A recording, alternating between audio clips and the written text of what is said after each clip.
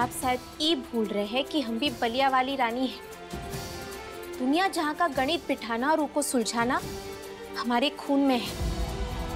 पर चाहे जो भी हो जाए ई राज की गुत्थी को तो हम सुलझा कर ही रहेंगे। आप चाहे जो भी कहिए, पर हम ना ही रुकने वाले। और एक बार के लिए मान भी लेते हैं कि अगर असली मुजरिम को पकड़े बिना किसी तरह हम आपको बचा भी ले। तो भी ऐसा हो सकता है ना कि फिर से कोनो निर्दोष फंस जाए? शायद हमारे बाबूजी भी। और वो फिर से कोशिश किए जेल वापस जाने की।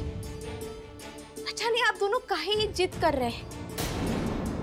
लेकिन एक बात तो हम समझ गए हैं, डॉक्टर साहब।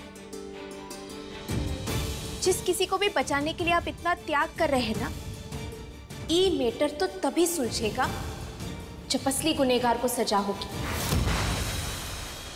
कोनो निर्दोष को नहीं तो हमने भी फैसला कर लिया है डॉक्टर साहब।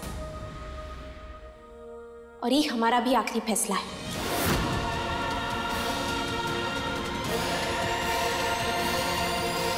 मुझे लगा था हम दोनों एक दूसरे को समझने लगे हैं रानी।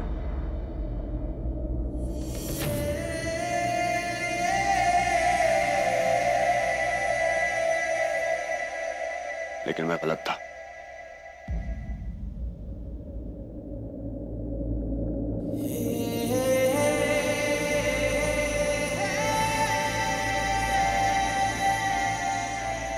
बात का अफसोस है मुझे। लेकिन इसके बारे में कुछ नहीं कर सकता मैं। क्योंकि ये मेरा भी फाइनल डिसीज़न है। मुझसे जो बन पाएगा मैं करूँगा। लेकिन आपको सच तक पहुँचने नहीं दूँगा मैं।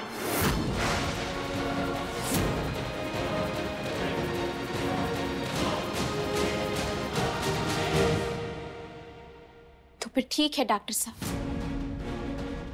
पर इस बार हम आपको शुभकामनाएँ नहीं देंगे। काहे कि हम नहीं चाहते कि आपकी जीत हो। आपको जो सही लगता है, आप कीजिए। लेकिन हम सारा गणित सही से बिठाकर सही उत्तर ढूंढ निकालेंगे।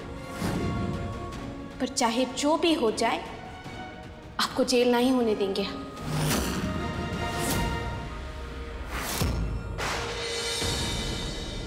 जय माता रानी।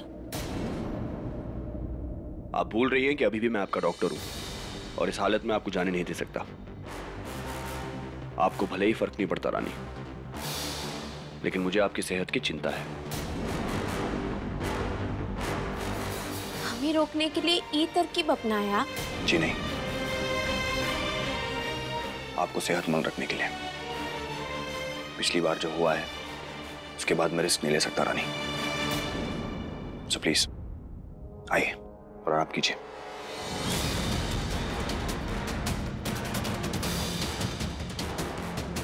ये हमें ऐसे ना ही जाने देंगे। छुप के निकलना होगा।